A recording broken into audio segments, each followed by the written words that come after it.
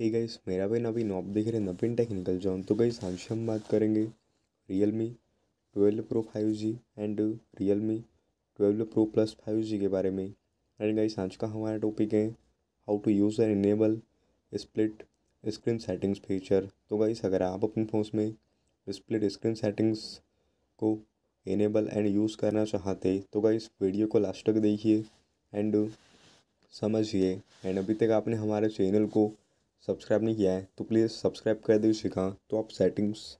में जाइएगा एंड नीचे में आपको स्पेशल फीचर के ऑप्शन पे क्लिक कर देना है गाइस तो यहाँ पे आपको ऊपर में स्प्लिट स्क्रीन का ऑप्शन दिया जाता है तो आप क्लिक कर दीजिएगा तो यहाँ पे आप स्प्लिट स्क्रीन को